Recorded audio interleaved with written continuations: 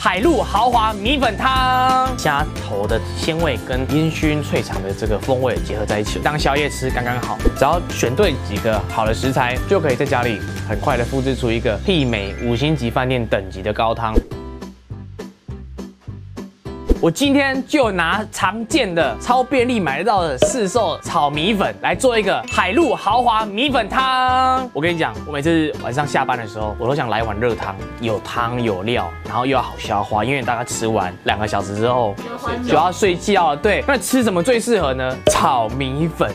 因为米粉你白天吃、午餐吃、晚餐吃，常常会很快就消化，但其实你当宵夜吃刚刚好。但是我在吃炒米粉的时候，你都觉得吃完很咸，都要想喝点热汤，所以我就很生气。我想说，好，那我们就来升级这个炒米粉，变成一个豪华海陆的米粉汤。怎么做？其实非常简单哦。首先，先准备一个有点深度的平底锅，或者是你家有雪平锅更好。那这个时候呢，就来炒我们的虾头。切记不要把虾头浆压出来太多，会压到那个内脏味比较重的一些地方了哈。就把这个虾子倒进来之后呢。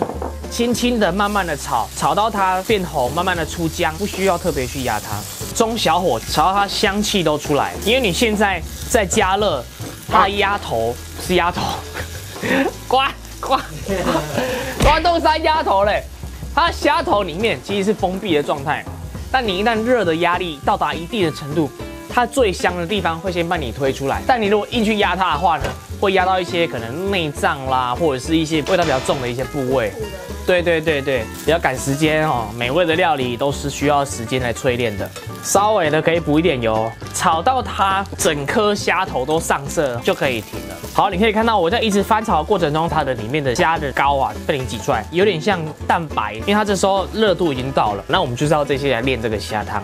好，那这个时候我们就可以准备一个米酒，大概一碟的量。去把这个虾膏的味道炼出来，再加入脆肠。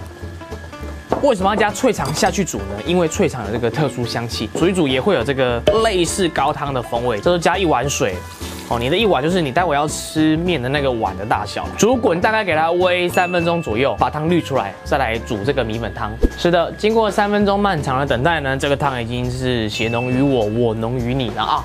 这时候把火关掉，我们把汤滤出来。我们用圆锅来煎这个虾子，把它煎香，放一点油就好了。虾子放进来，我一个人吃会不会太多汁了？这宵夜好高级，宵夜很高级。今天是为了摆盘摆那么多只，如果你在家里的话，我觉得大概三只就差不多了。好，这个时候先淋上我们的乌醋，然后再加上我们的炒米粉，稍微把它拌炒一下，葱段也把它加进来，好，然后娃娃菜。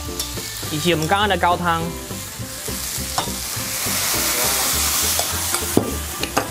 这时候加盖，主要这个虾跟菜熟了，就可以盛盘喽。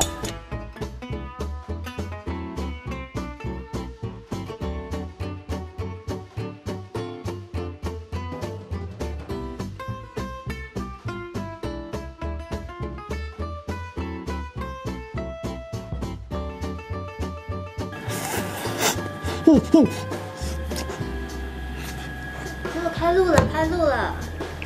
干嘛找我吃宵夜啦？就是 Howard 他刚投进一颗球而已呢。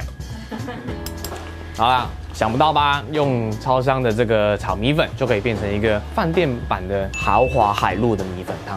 只要选对几个好的食材，就可以在家里很快的复制出一个媲美五星级饭店等级的高汤。这样子，你学会我的配波了吗？那我们就下次再来升级其他不同料理吧。我们下次见，拜拜。拜拜。